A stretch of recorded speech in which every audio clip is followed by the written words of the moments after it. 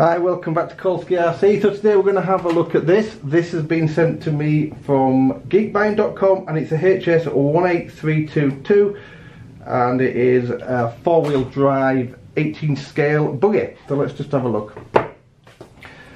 So this is the car itself. Got a flat bottom pan. It's got a battery in the bottom, which is the only thing I don't like about this truck. Spoiler alert there. It's the only thing I don't like about it. It has a little screw that holds the battery in. It comes with a 1200 milliamp hour lithium ion battery, which is a nice thing to see. Sometimes you get nickel metal hydride in this. Fully proportional. Let's just have a look under the hood. So as you can see here, you've got your steering servo, your brushed motor, and in here you've got your ESC and receiver combo. And it's got a five wire servo. It has obviously spring suspension, um, shock absorber suspension. These are obviously not oil filled, they're just friction shocks. It's the only thing about it that lets it down a little bit. But it hasn't got oil filled shocks, but for the price you're probably not going to get oil filled shocks, are you? So the tyres are quite soft in the centres, but the outers are quite rigid on them. Uh, the one bit massive benefit about this car is how much the kicking it can take. It's very flexible, so if you look at the front bumper, there's no hard plastic on this. It's very soft and flexible. I've crashed it so many times, it's untrue, and it just keeps coming back for more. It's all plastic components. Everything's plastic, as you can see on the on the steering and everything. But it really is a truck that can just take a kick in. This is perfect for someone just getting into it. To have a go with an RC car that's not too fast. It says 32 kilometres an hour on the box. It's more, or 36 I believe it says. It's more like 22. I think it was 22 when I speed tested it. This is your shell. The shell is actually decent. It, because this thing has been abused to death and you can see it's just, I don't know if you probably can't see that, but it's just got a couple of scuff marks on the top. No cracks. Nothing at all on it this is the controller. So the transmitter is your typical transmitter. It's got a bit of foam on the wheel there. And it has forwards and backwards. And it has an on and off switch out. It's the only thing on the controller and it runs on three AA, oh, three, two, three AA batteries.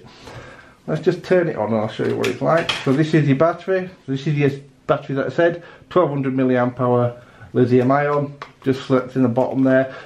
One thing I will say is there's no screw holding this battery tray in at the minute because I took it out to do the review. You have to put it in because I found out the hard way the battery cover will just fly off if you go over a curb or something. Even though it's got a clip on there, it's not enough to hold it unfortunately. So it will come off. It's got an on and off switch on the side here. We'll just flick it on, flick the transmitter on, and there you go, it's found. So the servo, it's not the fastest in the world, but it's certainly not the slowest. I've seen far slower than that. And just to give you an impression of what it looks like speed-wise, that's full speed, that's brake, and then... Now the brake is actually quite vicious, it doesn't have stop when you put the trigger forward, so... It's nice, don't get me wrong, this isn't, this isn't the top of the range. This is for someone just, I'd say, coming into it or you just want something to play. I've, I've enjoyed playing with this. When I, I, think when they sent it me with around £40, I don't know what the price it is now. I'll put a link in the description down below for it. So for Geek Buying, not sure what the cost is now. It was about 40 when they sent it me. And for that, I think it's okay for the money. Like I say, it's not a world beater. Tom Lee RC reviewed I don't know if you've ever checked his channel out, but Picard, he's fantastic. And he reviewed this a little bit ago and he came to a fairly similar conclusion that me. It just takes a beating and keeps going.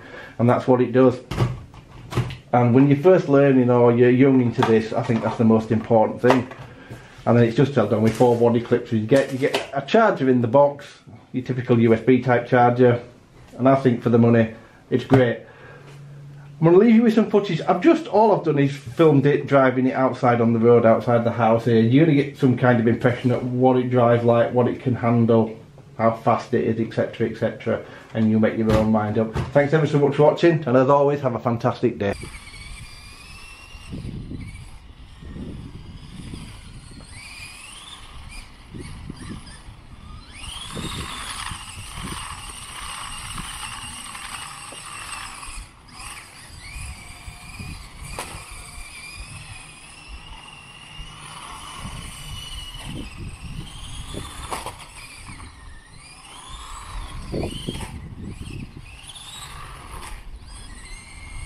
Thank you.